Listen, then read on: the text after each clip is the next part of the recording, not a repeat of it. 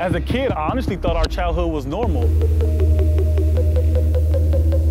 Until I grew up, I realized we grew up a little different in Ujima Village.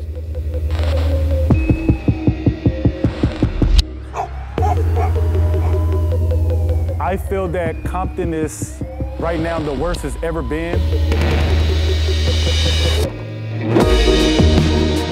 Everything I've ever known my whole life, the city took it away and they knocked our projects down and they kicked us out and they just left us out to dry to be homeless. I got shot right here, man, and it fucks me up to stand here now and relive that. The other person that was behind me was dead on the scene. You know, his noodles is out, his brains is out.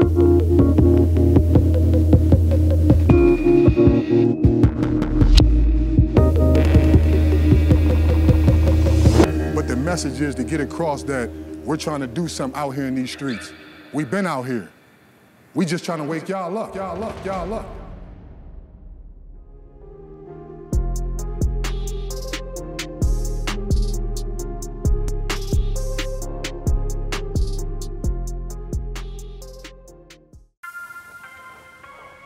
The first time I've known about somebody getting killed, like somebody who I know personally or somebody who I know personally who killed someone, um, was young, probably about six years old. But the first time I actually like seen somebody get killed, like watched it,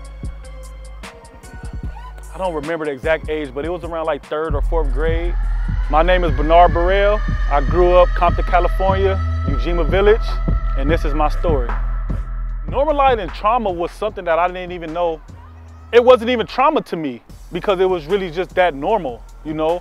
Every day I come outside, it's such and such got shot or such and such went to jail. And, you know, I grew up with a thousand, two thousand friends and half of them is dead or in jail doing life right now. So, it, like I said, it's sad to say, but that was normal to me.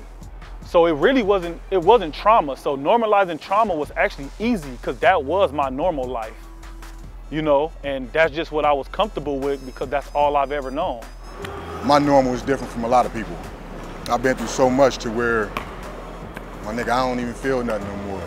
Like after you lose your parents, you lose your career, my nigga, you get shot, you lose some friends, but you see all these things growing up, my nigga, like you get immune to it, you get used to it. So for me, my nigga, like, I'm just like, after a point, how much more do I gotta keep taking? My name's David Hamilton. They call me Super Crip, man. I'm from West Side Nutty, you feel me? We really out here, real motherfuckers. I mean, for me, bro, like, we always had these conversations, you know? It's, um, it is normal. It's sad to say, but we see it every day. But for me, my nigga, like, you know, I can't speak for nobody else but me, man. Growing up in, uh, in Santana, man, it was crazy because uh, on my block was like the block where everybody hung out at. So we could be outside playing football or playing basketball, and somebody would just come through and do a drive-by, and we'll just like see them do a drive-by, and they leave, and we'll go right back playing. Like that's how, we, that's how much we got used to it. It was just a way of life. I mean, it, you just have to live your life. It is what it is. My name is Jeff Trepagnier uh, from Compton, California. Uh, born and raised, went to Compton High, went to USC, NBA, and this is my story. So my sister, she she was the the, the gangster of the family. Like uh, she was the one gang banging.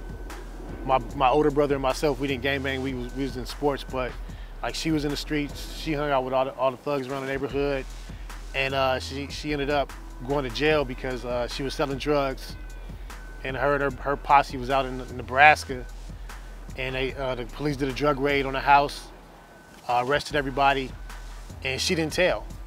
And she was 17, 18 years old, facing 10 years minimum and all she had to do was tell, and she didn't tell. So she ended up doing 10 years fed time. Like, she was the real one for that, because I would have told. I would have told for sure. Man.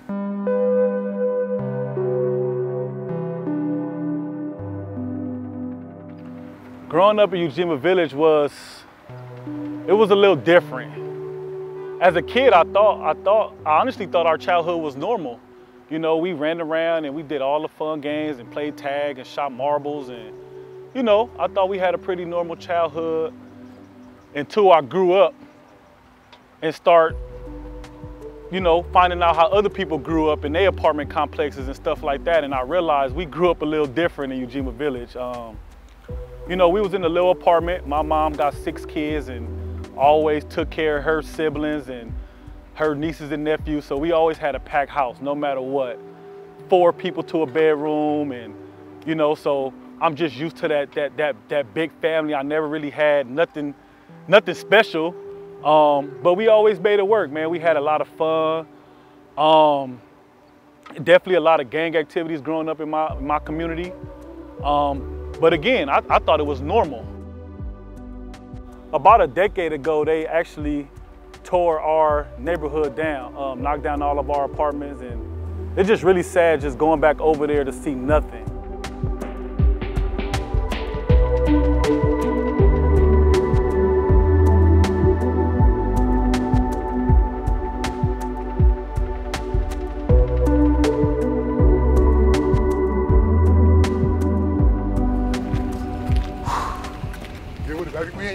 Village. This my hometown right here, man. This My is hometown, man. This a is where I'm born and raised. Right here, Ujima Village. Right here in this section right here, this the middle. This separate Wadsworth and Clovis. This the middle right here, man. And you know, this is everything I've ever known. This is a place that I've been since I was born, since I was a little kid, from daycare to preschool, kindergarten. I had to leave the house at five in the morning to get on three trains from the green line to the blue line to the red line, all the way to Hollywood to get on buses. It was just too much getting to school to the valley, so I didn't go. I was leaving the house at five in the morning, going to my neighborhood every day, or going to Centennial.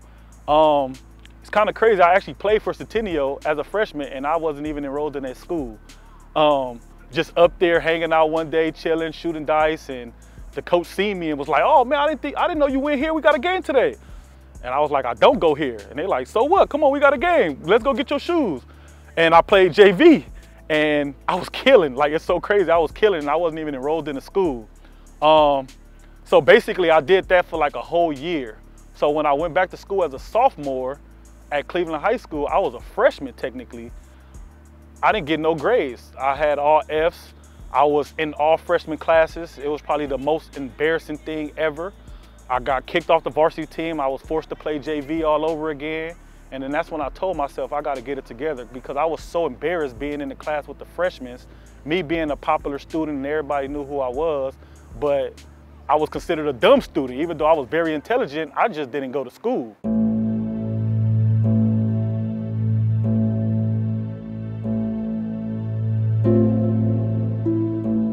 Went to Compton today, went back to the old spots, went back to where you got shot the night before you scored 27 and 15. It was a violent overnight.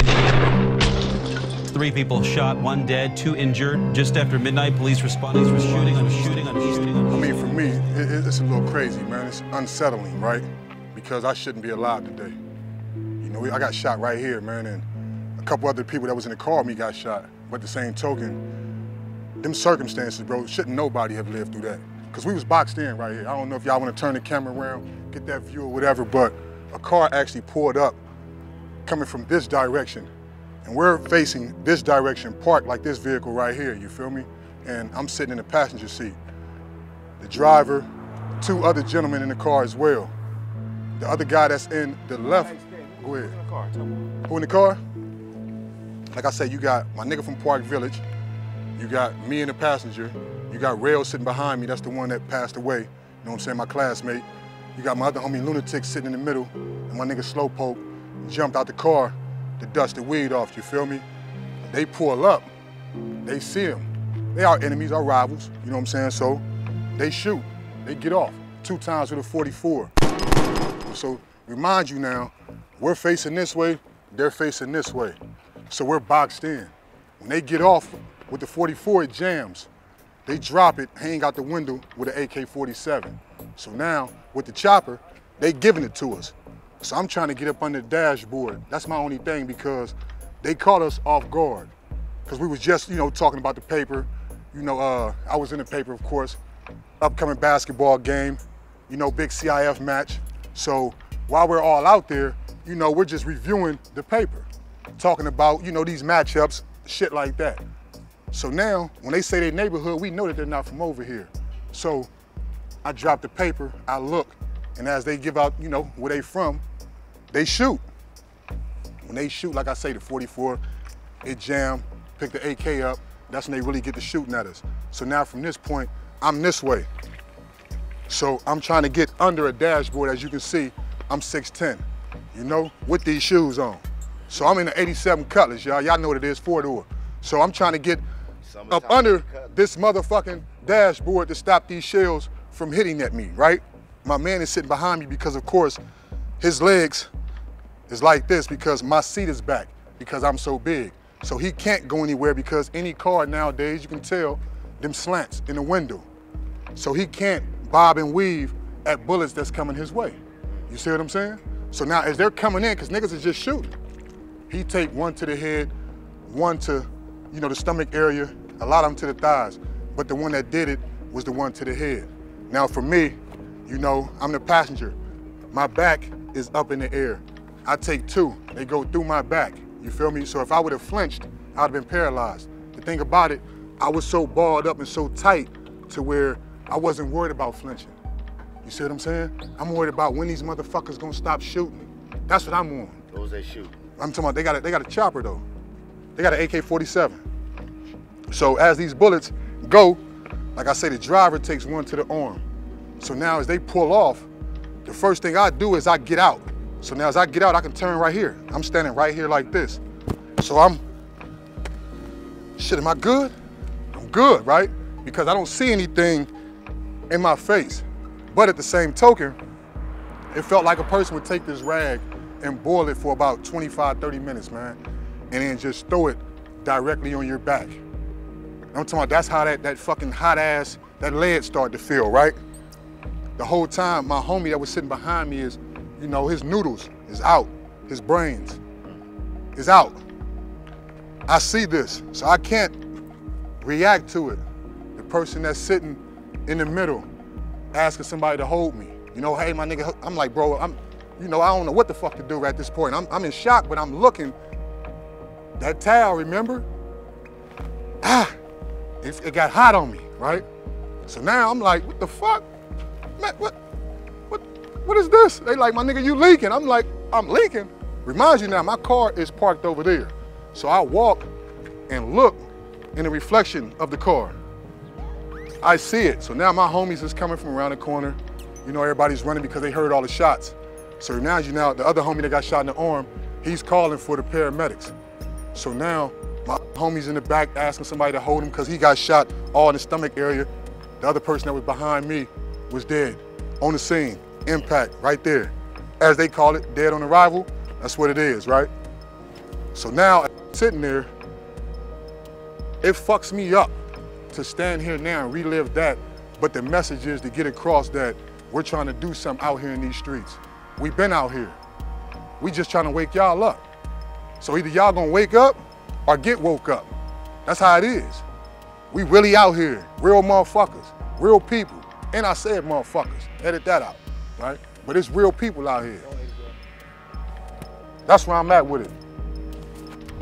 After this happened, Palmer called Palmer called D and said, hey man, we knew that his we knew that one of his friends had been killed basically his brains blown out. we basically said, "Hey, Dave, you ain't gotta play, man. We played. We played. That was a Friday night. That happened. It happened on a Friday. We played Santa Margarita on a Saturday. I got a hoop. At UC Irvine. I got a hoop. Palmer calls Dave, says, "Look, man, like we know how traumatic the situation is. We, you know, like you don't have to play." Yeah. Let me tell you what Dave says. Dave says, "I'm playing." No, you said, "Fuck it, cuz I'm playing." well, all right. and there it is. That's what you said. Fucking cuz I'm playing. Yeah.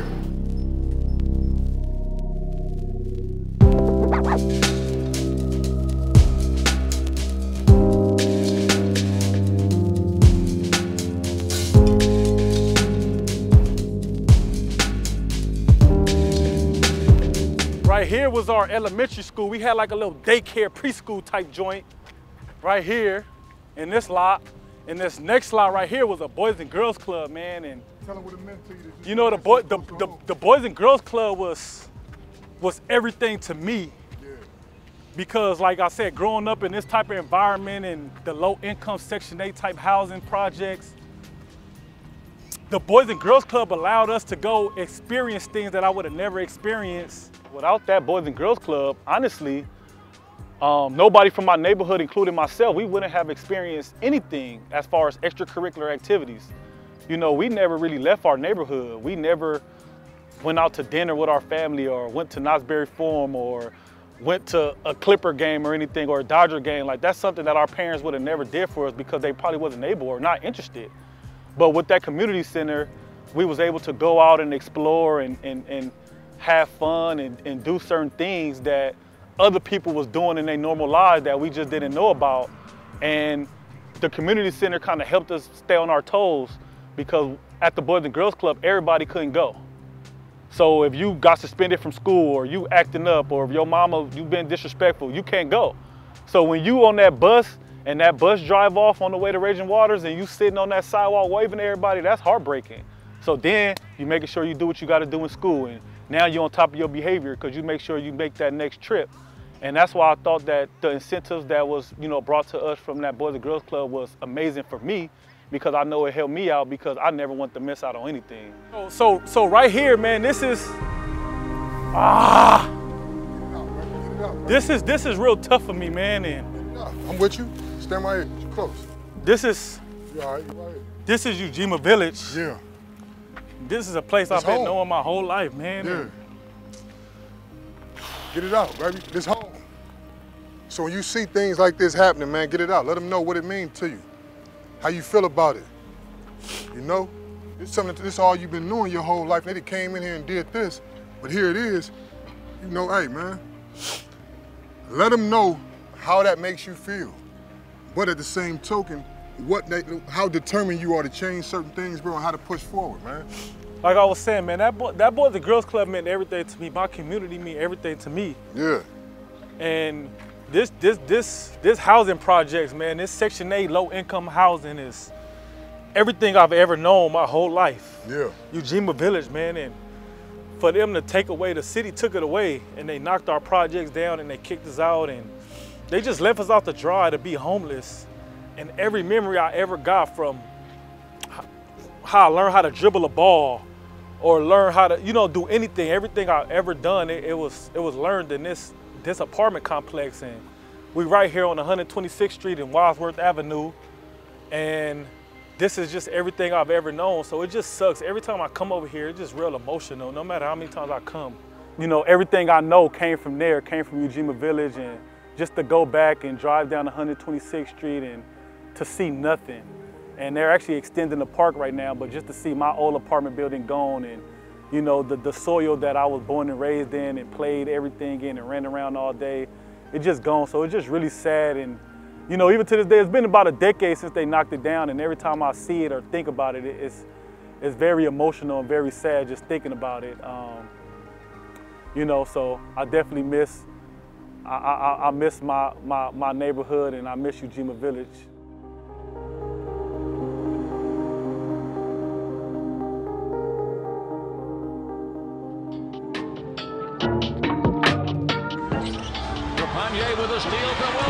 It.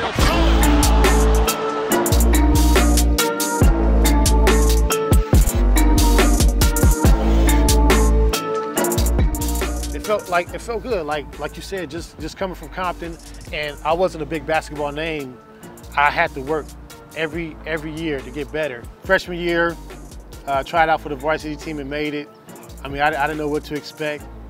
I, I didn't really know how to play. I was just you know just leaned on my athleticism, uh, and uh, you know, Tope and Palmer took a chance on me, gave me a chance. I didn't play a lot, but you know, just to be up there with the with the older guys and practice and things like that, working on my game, it, it was it was good. I, I got my first dunk in the, in the spring league, and after that, it just took off. The game just took off. Uh, junior year was I, I did good junior year. Got invited to uh, Nike All American camp. Uh, started getting letters and stuff my junior year, and that's when I started taking it serious. Like, oh damn, I could go to college off this. And so Tope and them used to, Tope and Palmer used to press me, try to get me to work out on my game. I was out of there, just tried to get me to work on my shot. I was working on dunks, but I mean, uh, it, it, turned out we had a good, I had a good junior and senior year and ended up getting a scholarship. So going from high school to college is, is a big jump. Uh, you know, all the guys are athletic as you, they're as, just as strong as you and things like that. So you really have to work on your game. So I came in with the knock that I couldn't shoot. So, uh, you know, I, the coaches would work with me. You know, you have to work on your game. You got to get better if you want to play. So I went in there, worked, worked real hard freshman year. Got, uh, I played a little bit my freshman year. And every year I got more and more playing time. In the summers, off seasons, I was always working out, working on my jump shot. Junior year, I really did, I did good. I led, I, led, I was in the Pac-10, like, like in top, I was in the top 10 like in five or six different categories, steals, three-pointers, uh, rebounds and things like that. I mean, I just tried to do everything, everything. Uh, defend, shoot, steal, pass, whatever I could to get on, to stay on the floor. Scalabrine leads in, back shot, Trepagnier with the tip dunk. Rebound goes to Scalabrine, outlet pass, Trepagnier, watch out, again! Granville down the lane. The kick, Trepagnier sets and hits. A three-pointer for Jeff Trepagnier. He has seven points. Uh, the whole the draft is a whole process. And one of the big knocks was, uh, you know, can I shoot? Can I shoot? Up until that that first senior camp, like I was working on my game every day, shooting in the gym every day. Two, shooting. three times a day. Yeah, yeah, every day. So um, it was your trainer in the morning and me at night. Yep, yep, yep. So like you said, two days, just getting it in at the gym. And uh, I killed that. I killed that camp. I killed that. I was shooting all over the place, and I think everybody everybody was shocked. Really, it, it was they were shocked because they was like they was expecting me just to come in there, dunk on people. Yeah, dunk on people, get a couple dunks. But I was hitting with the threes, hesitation threes, follow like all kind of stuff. And so that that that helped my sock right there. That helped get me back, get my name back into the uh, like the first round talks. Bell stripped. Granville throws it ahead. Here comes Trepagnier. Another reverse jam. USC showing the flair for the dramatic here in Uniondale.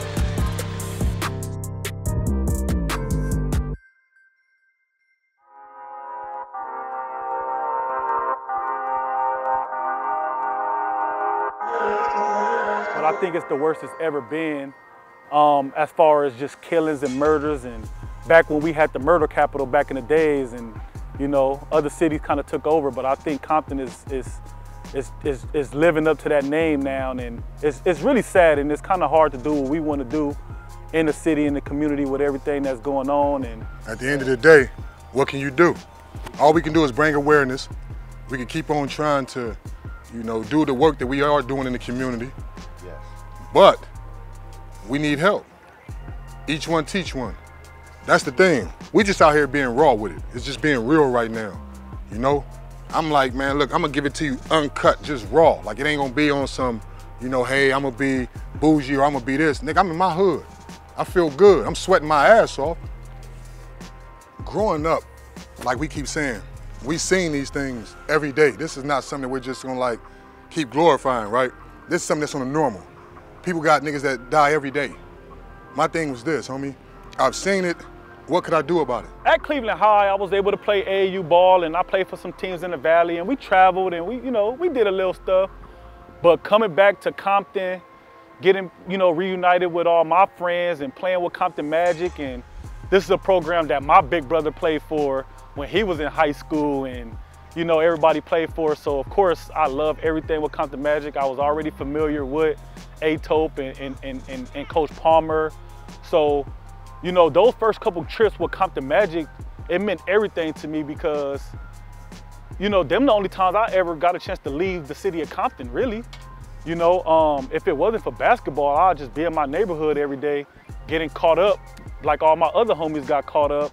But when they was getting caught up, I was on the weekend playing ball with Compton Magic out of state, or even if I was in the city, I was somewhere being productive. So, you know, just just being a part of Compton Magic, it came perfect in a time of my life where I started taking basketball really serious and you know I really feel like it, it, helped save my life really because it kept me distracted and it kept me out of the neighborhood when my neighborhood was reckless at the time. So, you know, those first couple trips with Compton Magic and it was just great just to be on the trip with my brothers, with my friends I grew up with, just to be in that family environment and to be out the neighborhood and go and, and explore the city and other cities and other states and you know, it just gave me something to live for. I mean, listen, bro, to see it now, which I don't know a lot of these dudes, but I've been watching, right?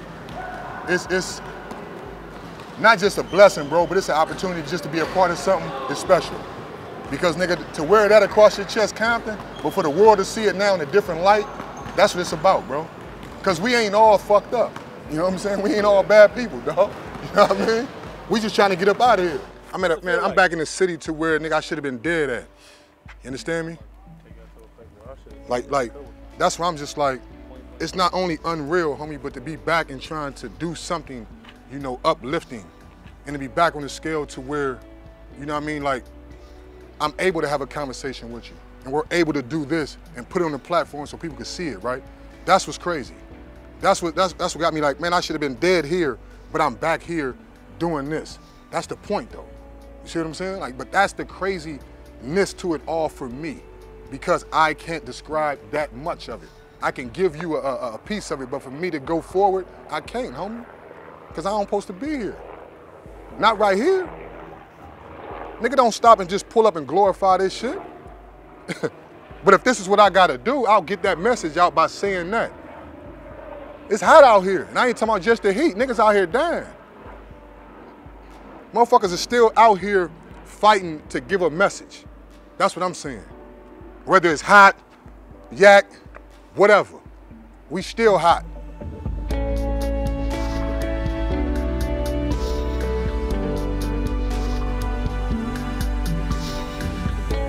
Man, going to college, my mind frame was just basketball. I've always been very smart. I walk into a classroom and get straight A's with giving just a little effort, but I didn't care about anything academics. I didn't care about school. I went to play basketball. Um, so a degree wasn't on my mind, to be honest. It was just really just to play basketball, enjoy the world, enjoy the girls, college wasn't preached in my household. I'm the first one to actually go to college and graduate, so it wasn't nothing that was like mandatory. Nobody talked about it. It wasn't like a thing that we had to do, you know. So um, I just remember getting hurt in college real bad and finding out I had a real bad back problem. After my junior year, my back just wouldn't get better. I had a few herniated discs and the doctor didn't clear me. And I remember flying home and I was like, I'm not going back to school.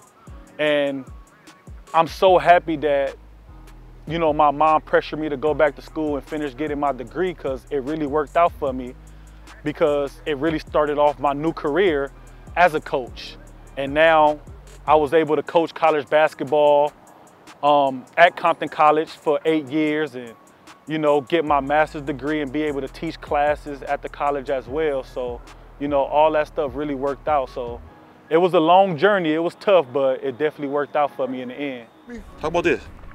Authentic lifestyle for me, right? What does that mean? For me, that's my life, homie. For me, I've been doing this for 41 years come October 16th, right? I ain't never had nothing given to me, homie. Whether it was Auburn, Compton Magic, whatever, right? I always had to bust my ass. So for me, this is my brand. I'm gonna bust my ass to get the people something different, something that's authentic, something that I'm gonna keep it 100 with, right? I'm gonna put my blood, sweat, and tears in it. That's what you get. You get everything that's with, within me, everything within David Hamilton, right? But I'm pushing for a direction of at-risk youth, even though I'm getting hot as hell, right?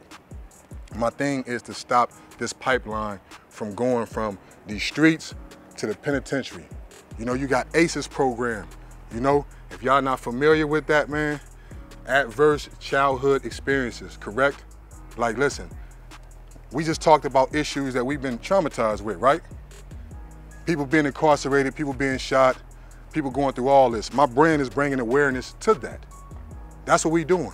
And I'm bringing it authentic. It's a lifestyle. It's a brand. It's a way to say, hey, it's awareness to where we have been doing something here, but we could turn our life around and do something here. Yes, sir. This is the positive side of growing up. But you have to have a great team around you. You gotta have a circle.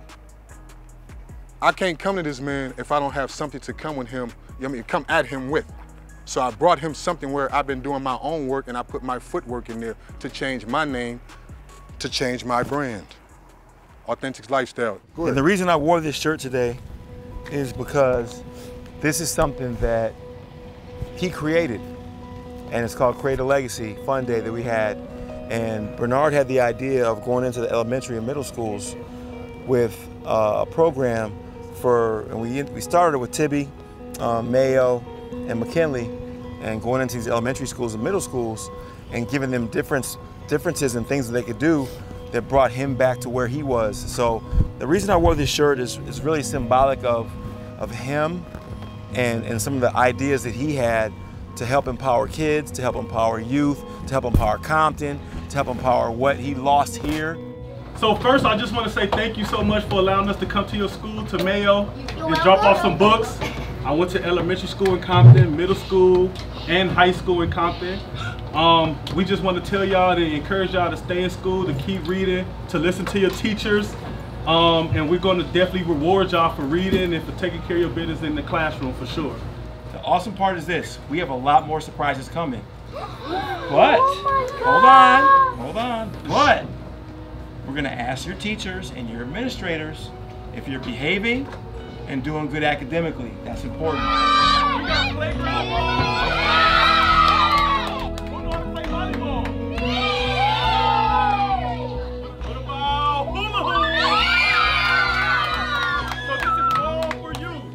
Yeah, man, these kids, they know Compton Magic as big time basketball, but now when I'm in the city, I go to the park or the grocery store, people are coming up to me, parents are coming up to me saying, thank you. Oh, you're the one who dropped the books off. And kids coming to me to the park like, hey, I remember you came to my school and gave me books.